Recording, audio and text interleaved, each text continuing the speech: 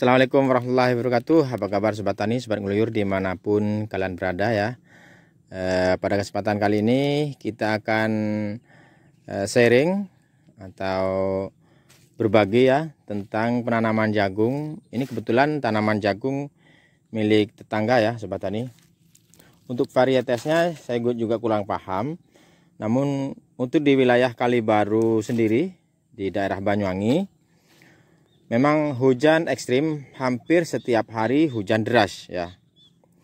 Maka dari itu tanaman jagung untuk lahan ini ya, ya lahan, lahan yang ini banyak tergenang oleh air dan banyak mengeluarkan sumber mata air untuk lahan di daerah ini ya.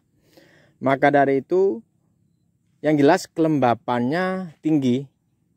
Mungkin sobat tani, sobat ngeluyur di mana pun kalian berada mungkin e, melihat ya tanaman jagung seperti ini banyak diserang bulai. Ya, seperti ini. Ini tanaman sudah terserang bulai, hampir kurang lebih mungkin 30% ya, 30% atau berapa ya? Banyak yang terserang bulai. Bisa dilihat di sini ya, sobat tani. Nah, ini dalam berapa baris ini? Bulai semua. Ya. Ya bulai semua. Kalau usia jagung mungkin kurang lebihnya antara 25 hari ini ya. Jadi semua tanaman terserang bulai. Karena di sini cuaca ekstrim hujannya sangat deras. Dan kebetulan lahan di sini ekstrim ya e, mengeluarkan sumber mata air. Sebentar lagi kita akan ke sana. Nah, di sana itu yang lebih parah. Tanah lahan yang mengeluarkan sumber mata air. Nah, bisa dilihat ya sobat tani. Ini mungkin yang jelas kelembapannya sangat tinggi sekali sampai tanaman jagung banyak yang terserang bulai.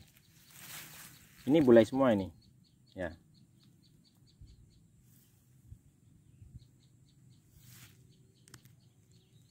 Oke, kita lihat ke sana.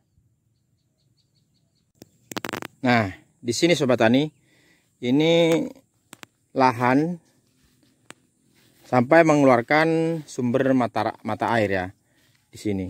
Ini sampai basah. Jadi tanaman jagung rata-rata semuanya kuning dan terserang bulai. Ini kuning semua tanaman jagung ya. Padahal sudah dikasih parit untuk mengeluarkan genangan air yang di tengah ya. Jadi sudah dibikin parit seperti ini. Nah, ini semuanya sudah dibikin parit ya. Sampai ke sana ke ujung pembuangan airnya.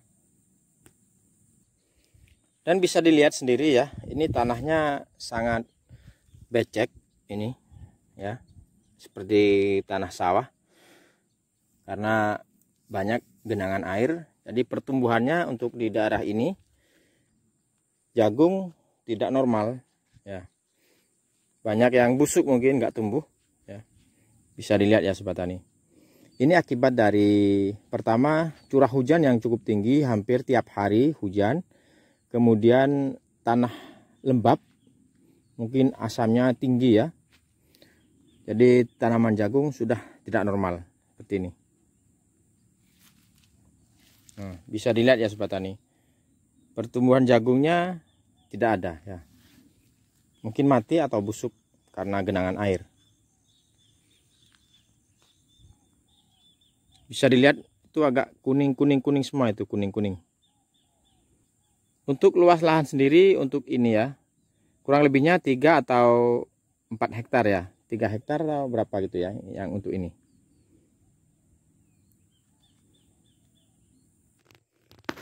Nah ini kan sudah dibikinkan parit karena di sini mengeluarkan mata air sumber.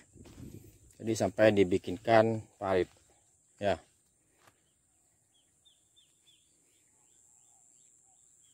Mungkin sobat tani ngeliat ya tanaman jagungnya ini kuning seperti ini. Dan hampir semua ini kuning kuning. Nah, itulah akibat dari e, curah hujan tinggi kemudian lahan yang lembab dan mengeluarkan sumber mata air. Oke sobat tani mungkin cukup sekian ya pembahasan video kali ini tentang akibat dari curah hujan tinggi dan lahan yang kelembapannya juga tinggi, maka pertumbuhan jagung tidak normal dan banyak e, diserang jamur bulai. Oke sobat tani, semoga sukses buat kalian semuanya. Assalamualaikum warahmatullahi wabarakatuh.